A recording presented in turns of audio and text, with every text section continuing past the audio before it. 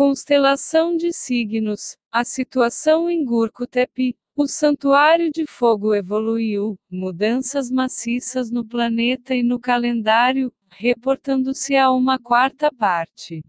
A data de hoje no calendário angelical do Arte é K0K99L299 infinito infinito B16666 infinito infinito B1TT infinito. A legenda do calendário e outros idiomas estão disponíveis no calendário arcanjo.com. Não esqueça de curtir, comentar e compartilhar. Todas as coisas evoluem e o arco do calendário angelical não é exceção a esta regra. Nossa natureza é a de constante mudança, e o calendário reflete essa natureza. Devemos abraçar a mudança em todos os cantos, pois é verdadeiramente a nossa única coerência. O santuário de fogo evoluiu e isso voltou a zero, isso já aconteceu antes e indica uma mudança maciça que ocorreu onde o assunto. O da categoria não é mais reconhecível. Dito isto, a categoria Santuário de Fogo, agora é a categoria do Santuário Elementar, e conseguimos construir com êxito um e é por isso que você o vê marcado com um em vez de zero no calendário. O santuário de fogo é exatamente o que parece, é um fogo aceso e imbuído em se tornar uma luz radiante, o santuário elementar, por outro lado, deve incorporar todos os elementos e esta oferta deve ser feita em um coração puro, pois deve ser aceita por Gaia, se for para ser oficialmente marcado no C. Alendário. Embora essencialmente ambos façam a mesma coisa, o santuário elementar é muito mais forte. Uma das principais razões para essa mudança é que o Gaia evoluiu além dos cinco elementos e tem um conjunto de configurações completamente novo a considerar. São principalmente adaptações híbridas dos elementos originais, mas podem ter várias combinações diferentes que são um tanto previsíveis. Hoje, somos dominantes no ar do fogo e sentados na casa de fogo. A constelação de signos é como uma grande estação central de reencarnação gigante. Este é o portal da encarnação e reencarnação. Se você já se perguntou de onde vêm as almas, este seria o lugar. Um cisne ou uma cegonha é o símbolo e o nome da constelação de signos, e isso ocorre porque quando os obis ervadores antigos viam as novas almas entrando por esse portal, eles os viam sendo assistidos pelos anjos e arcanjos e era assim que eles descreviam para os outros. A escuridão organizada está em pânico absoluto, pois cada gota da Intel em todos os lados da situação os coloca em xeque-mate. Para dobrar essa afirmação, não há uma dimensão ou linha do tempo que possamos ver que seja diferente dessa realidade. Obviamente, todo cenário existe em nosso multiverso, mas esses cronogramas estão tão distantes dos que estamos enfrentando atualmente que não podem se manifestar sem uma grande muda.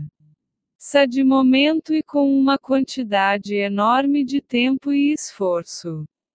Muitas celebridades sombrias estão prestes a se esconder, pois estão se virando e exigindo saber por que seus rituais sombrios não estão funcionando.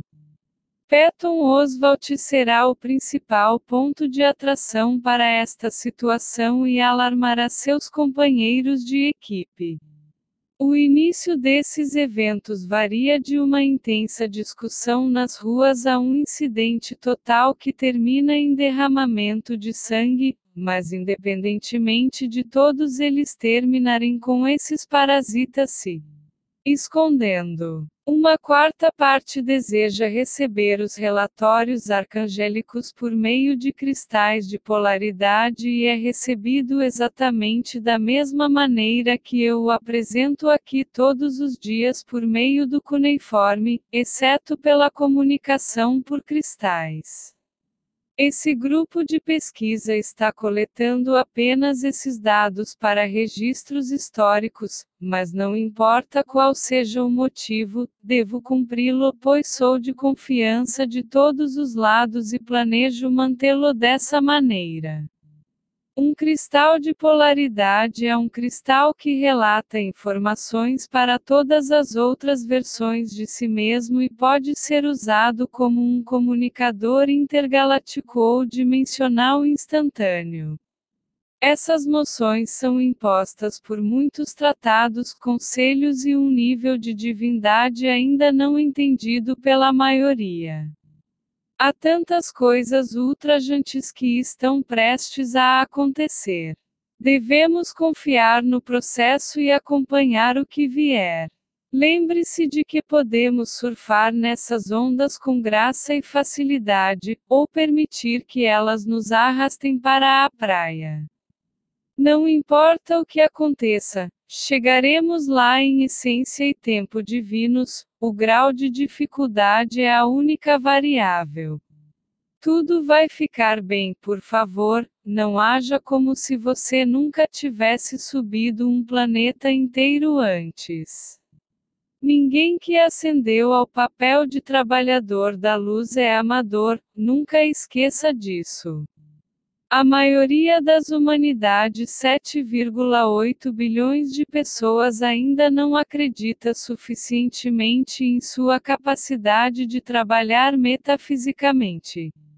Se não for esse o caso, e para a maioria dos trabalhadores da luz, não, fique à vontade para usar suas próprias ferramentas e habilidades para atribuições. Para os outros, as ferramentas abaixo ajudarão você a preencher a lacuna de crenças, pois sua crença no dito ser também entraria em jogo. As seguintes ferramentas estarão disponíveis apenas até a marca do próximo dia Arcanjo Post oficial dos próximos dias. Imagine-se usando essas ferramentas com um coração puro e intenções. Um aviso a todos que tentam render indignos: essas coisas têm vontade própria.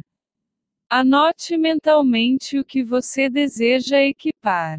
Passivo igual a nenhuma intenção é necessária para usar ou armar, ele funcionará por si só quando você aceitar sua presença.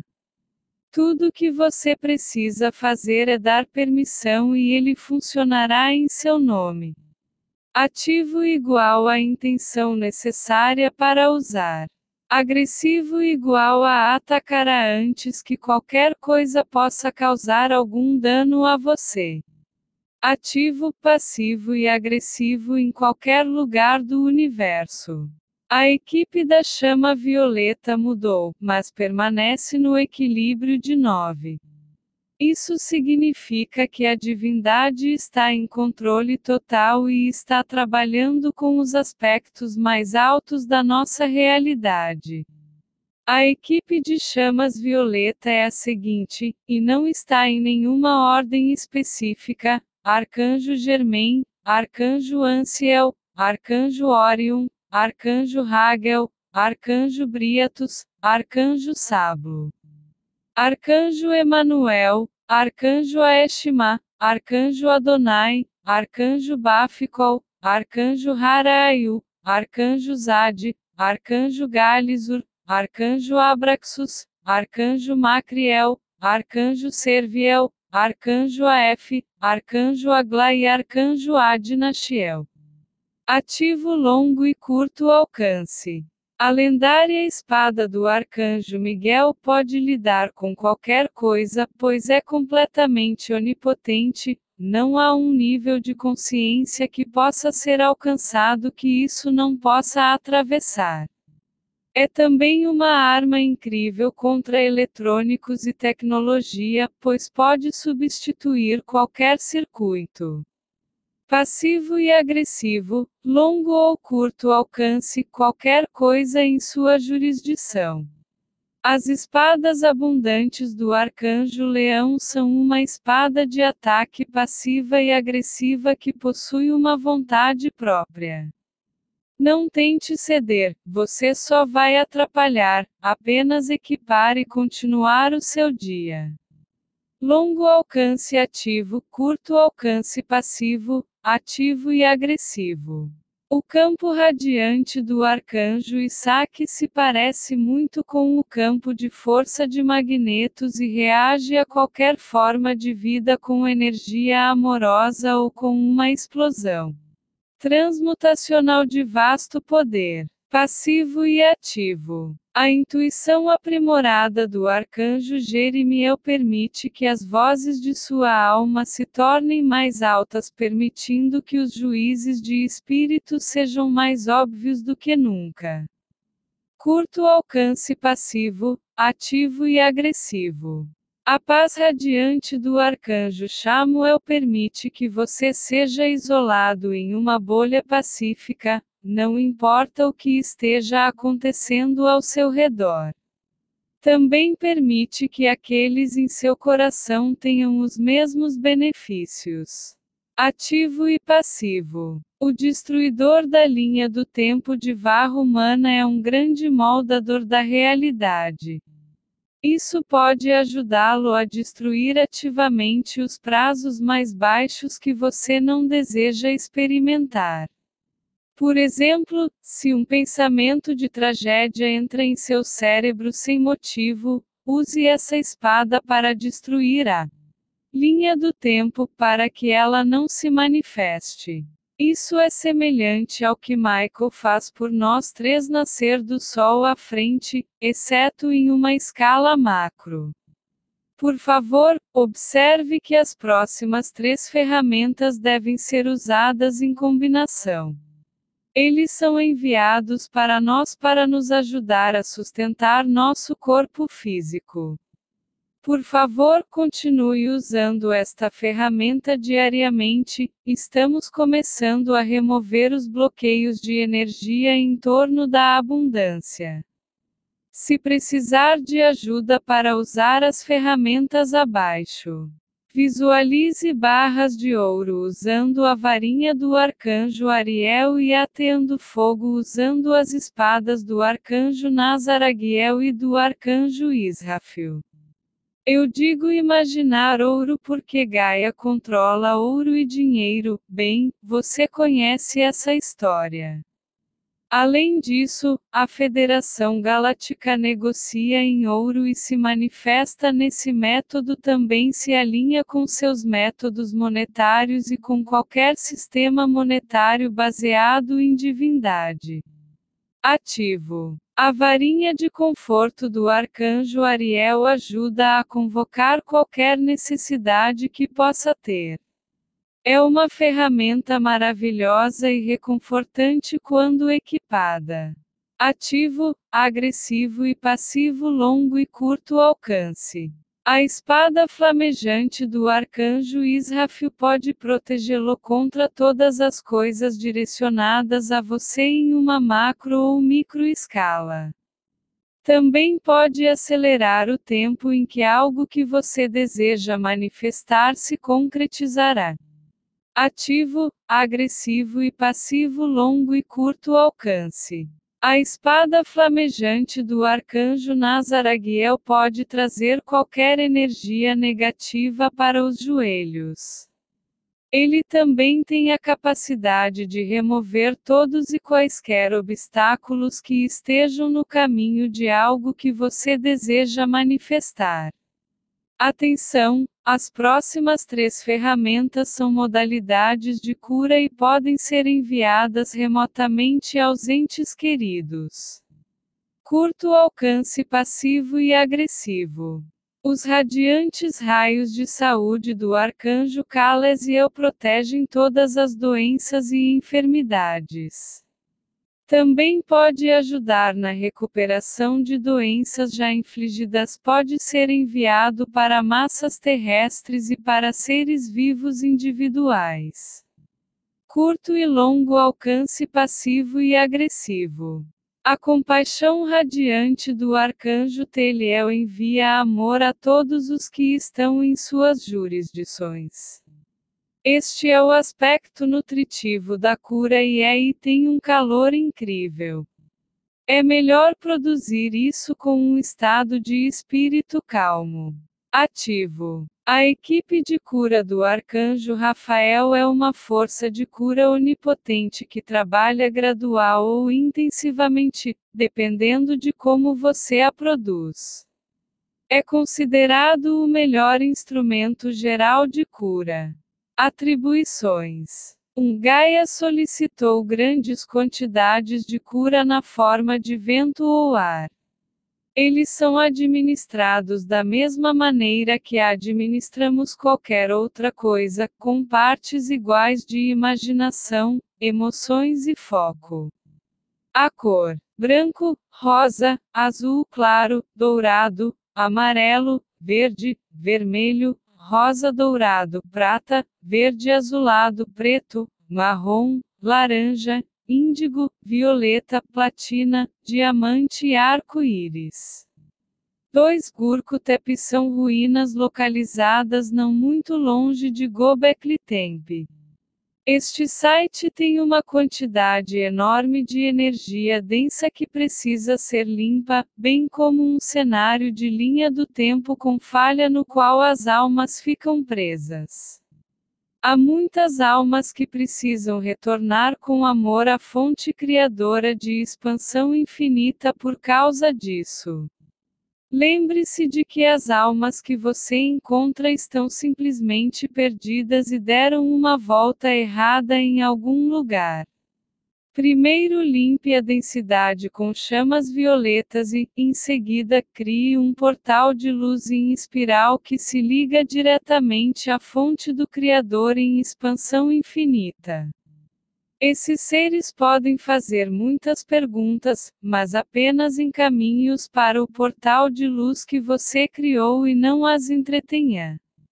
Seria como explicar a uma raposa os modos de uma águia e é melhor não ser dita. 3. Realizamos várias varreduras nas torres 5G prejudiciais com graus variados de sucesso. Devemos realmente dar o nosso tempo todo, pois sabemos agora do que somos capazes e, como grupo, temos mais confiança do que da última vez. As torres 5G são removidas sobrecarregando-as com rajadas elétricas, raios, e atingindo-as simultaneamente com ataques metafísicos. É importante notar que esses dispositivos são muito mais difíceis de remover do que os bots que retiramos no outro dia.